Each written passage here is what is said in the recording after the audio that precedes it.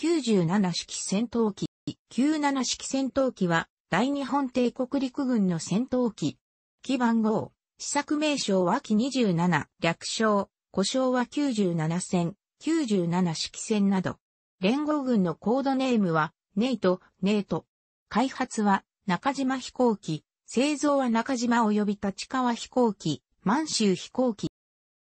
陸軍初の低翼単用戦闘機として、1940年、昭和15年前後の主力戦闘機として使用された。旋回性能に非常に優れ、特に水平面での格闘戦を得意とした。1935年、昭和10年、海軍の旧シタンザ戦闘機、試作機、後の96式艦上戦闘機の成功に刺激された陸軍は、海軍の了解のもとに、旧シタン戦を陸軍用に改修させた三菱重工業の機18を審査し、しかし、機18はエンジンの信頼性不足などを理由に正式採用には至らず、とりあえず川崎航空機の機10が95式戦闘機として正式採用された。しかし球体依然たる服用機である95戦では主力戦闘機としての任に耐えないため、それに代わる機体として1936年、昭和11年4月、低翼単用戦闘機の競争施策を中島、三菱、川崎の3社に指した。これを受けて、中島の機27、川崎の機28、三菱の機33、96艦船の改造機の競争となったが、先の機18の不採用に、しこりが残る三菱は、試作機の提出はしたものの熱意を示さなかった。このため1937年、昭和12年2月から始まった審査では、水冷エンジンで信頼性に不安のある機28を抑えて本機が選定された。この間、露光橋事件が発生したため審査を急ぎ、9月に終了。1937年、昭和12年、後期2597年に97、式戦闘機として正式採用された。採用当時の97戦は最大速度上昇力でユンカースジモ210エンジンを搭載するドイツのメッサーシミット BF109B、C、D、B 型は1936年11月に初飛行した BF109 の最初期量産型 D 型まで同じジモ210系列エンジンを搭載し1937年及び1938年当時の主力と遜色なく、かつ旋回性能ではこれを凌駕していた高性能機であった。しかし、同時期の欧州では97戦と異なり、設計面で将来性のある BF109、1938年12月には、高出力のダイムラーベンツ DB601 に乾燥し高性能化された E 型が登場。さらに後の G 型では DB605 に再度乾燥し、配線まで主力、スーパーマリンスピットファイヤー、ホーカーハリケーンなどが完成しており、97戦自体に限界を感じていた陸軍は高速重武装の絨毯戦闘機志向を強めていくことになる。陸軍航空本部は97戦開発中に考案された昭和12年度陸軍航空兵器研究方針にのっって機関銃搭載型機関砲搭載型の2種の単座戦闘機開発を模索し、97戦が採用された1937年12月に中島に対し一社特命的43の試作内示を、翌1938年、昭和13年には機44の研究内示を行っている。昭和13年度陸軍航空兵器研究方針には新たに、軽単座戦闘機、重単座戦闘機の区分が登場。軽戦、軽単座戦闘機は格闘戦性能を重視し、機関銃を装備し、重戦、重単座戦闘機は速度を重視し機関砲を装備するものと定義され、当時開発中であった機43は、軽戦2機44は、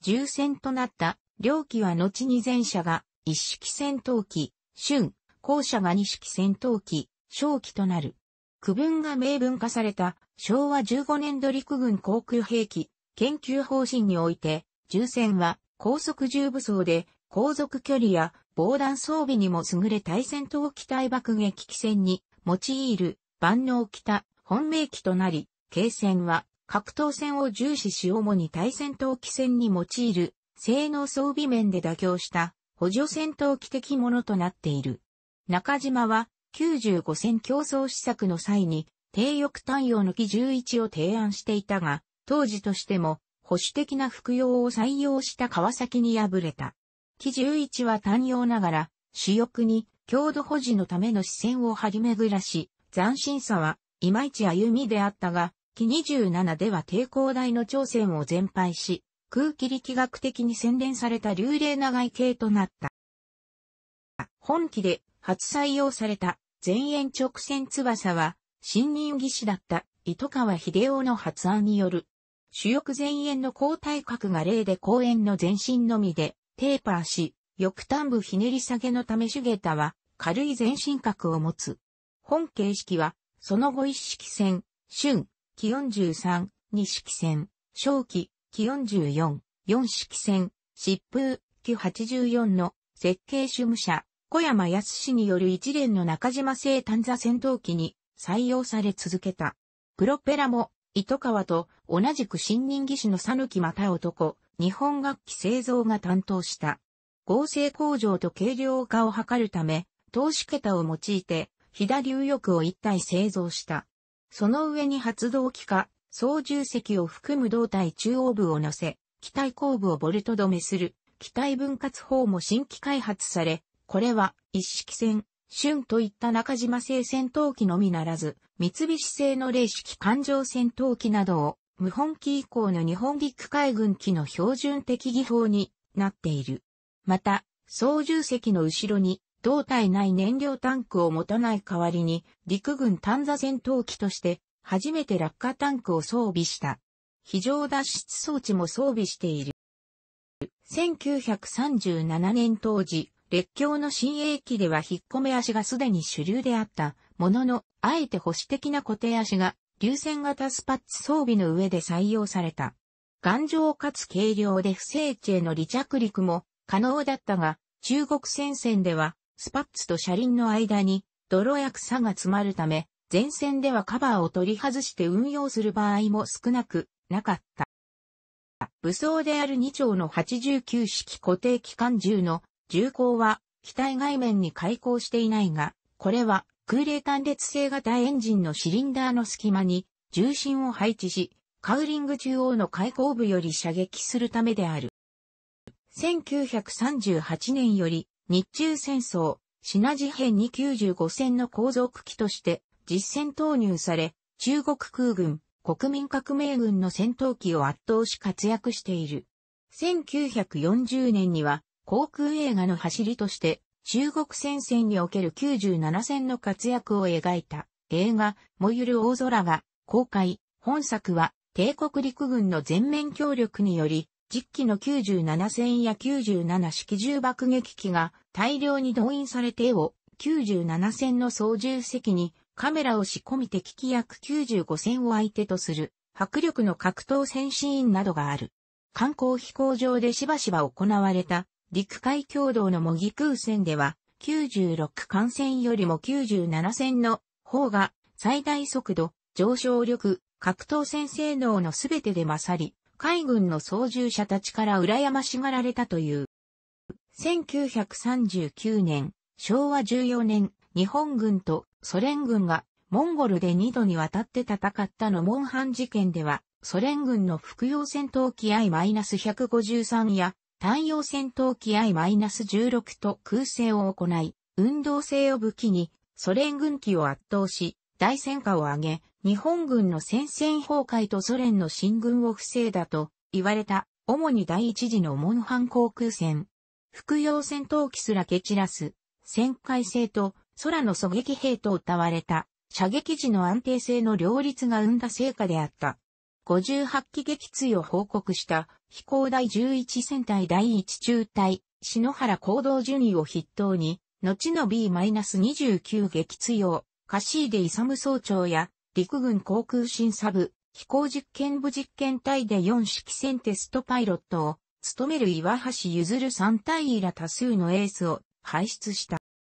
第1次、第2次を合わせたノモンハン航空戦における。撃墜総数は。日本側の発表では1252機であるが、ソ連軍側の記録によると実損害は約200機から約250機、ペレストロイカ以降に発表された資料を基づくものであり、スターリン体制下の宣伝資料に基づいたものではない。日本軍側の実損害は大中波合わせて157機、未帰還及び全損は64機、このうち97戦は51機で戦死は53名である。日本側の損耗率は60%で、これらのモンハン航空戦の戦訓として陸軍は短期空戦から変態空戦への移行、防弾装備、防火燃料タンク、防弾鋼板の必要、飛行部隊と地上支援部隊の空分離化と並び、航空機と操縦者の有効性と消耗性を知り、数を揃える必要性を痛感した。野門藩では上実の篠原淳位といった多くのベテラン操縦者が戦死し、その補充に器具が持たれたが、大きな戦果のため士気は高かった。実際には、野門藩航空船の後期、第二次野門藩航空船にもなると、防弾鋼板を追加装備した I-16 が従来の格闘戦から有速を活かしての一撃離脱戦法に切り替えたため敵を取り逃がすこと多くなっており、またソ連軍側はスペイン内戦に従軍していたベテラン操縦者を投入してきたこともあり、戦果は第一次のモンハン航空戦時ほど上がらなくなっていた。陸軍上層部も97戦自体に限界を感じており、新型戦闘機の開発は必須とされた。特に高度7000メートル以上を飛翔するソ連軍爆撃機 SB、SB 爆撃機に対し97戦は無力であり、春以間、する所なりと評されている。武装の威力不足も指摘されている。だが、運用側である現場の操縦者の多くは、旋回性能が良く、格闘戦に強い戦闘機による制空権確保に自信を持ち、太平洋戦争初期頃に至るまで、継戦万能主義などとも言われる考え方が支配的になった。そのため、97戦採用と同時に開発が始まっていた後継機器43一式戦、春にも97戦を上回る運性能が求められ、空戦フラップまで装備して性能を追求したものの97戦には及ばず、また要求仕様である最大速度時速 500km を達成できていなかったため機43の開発が長引くことになってしまった。その一方、97戦を徹底的に軽量化した実験機が製作されたが、空の蛙とあだ名された後消えてしまった。機43の審査は長引いたが、戦略の転換から来たるべき、対米英乱戦争、南方作戦の長距離進行に使える遠距離戦闘機が必要になったため、太平洋戦争直前の1941年、昭和16年5月にようやく正式採用となっている。太平洋戦争、大東亜戦争開戦時、一式戦の配備の遅れから、数の上では97戦が陸軍主力戦闘機であった。97戦は、マレー作戦に参加する上陸部隊を乗せた輸送船団の上空援護を行っているが、第12飛行団に属す飛行第1戦隊、久保野や年尾中域が紹介中のイギリス軍飛行艇、プリ・カタリナ1機を撃墜している。これは、太平洋戦争における日本軍機の初戦果であるとともに、上陸作戦成功の大きな鍵となった。以後、一式戦の配備が進む1942年、昭和17年半ば頃まで97戦は前線運用が続けられた。前線運用を退いた後は、優れた操縦性、安定性から97式練習戦闘機及び97戦をベースにデチューンされた2式高等練習機として練習機となっている。また短い未整地路で運用できるため連絡用途、内地や満州の防空飛行戦隊といった後方の2000級部隊、本土防空戦が行われる大戦中後期には新鋭機に改変などで用いられた。同リットル空襲の際には、東京ガス電気工業横浜工場を防空するために、配備されていた本機も B-25 洋撃に上がったが取り逃がしている。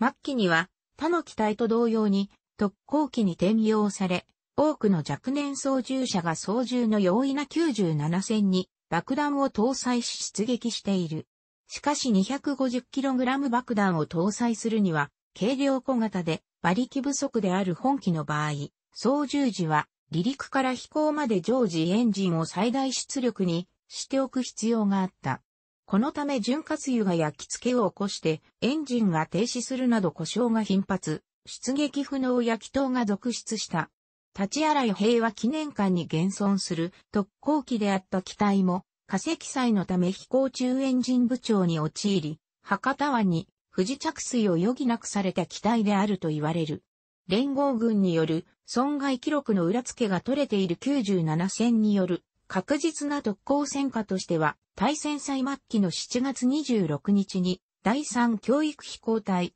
独立第107教育飛行団霊下にて、編成された7世秋道隊、97戦3機、徳永勲総長、山本源氏総長、大村敏郎伍長によるものがある。七尾秋道隊は、直縁機もない状態で、護衛空母2隻を含むインド洋方面のイギリス海軍東洋艦隊を攻撃、ヘルキャットの警戒網を突破し、1機は対空砲火で撃墜されるも残る2機は護衛空母、アミールと総海艇、ベスタルに突入、アミールは大破し、修理のため交代、ベスタルは沈没している。97戦は満州国、太陽国へ輸出されている。太陽国軍では空中戦において P-51 に損傷を与え、P-38 一機を撃墜したとされ、戦後もアメリカ製戦闘機が配備されるまで使用された。また、外地で終戦を迎えた97戦は中華、民国軍、国民革命軍、中国人民解放軍、皇軍などに接収されて使用されている。1996年、平成8年に博多湾の海中より引き上げられた機体が復元されて、筑前町立立ち洗い平和記念館に展示されている。楽しくご覧になりましたら、購読と良いです。クリックしてください。